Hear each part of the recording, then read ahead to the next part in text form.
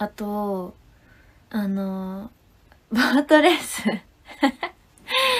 ボートレースのレース名を私のなんかお誕生日おめでとうっていう名前にしてくれて。そんなことできんのってもうおもろすぎて。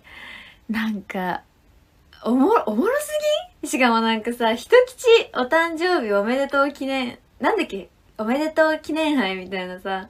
しかも12レースでさ、その1日の一番いいレースでさ、しかも私しっかりこうやってね、ライブ映像で見てたらさ、なんかしっかり出るんよ。なんか、一吉なん、なんちゃらかんちゃらってしっかり出るからスクショしてあるし、そのレースをね、いや、みんなが買ってたからさ、あの、瞳の2連単で買ったんだけど、惜しかった !153 でした、そのレースは。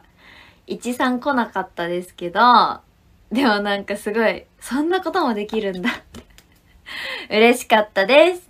ありがとうございます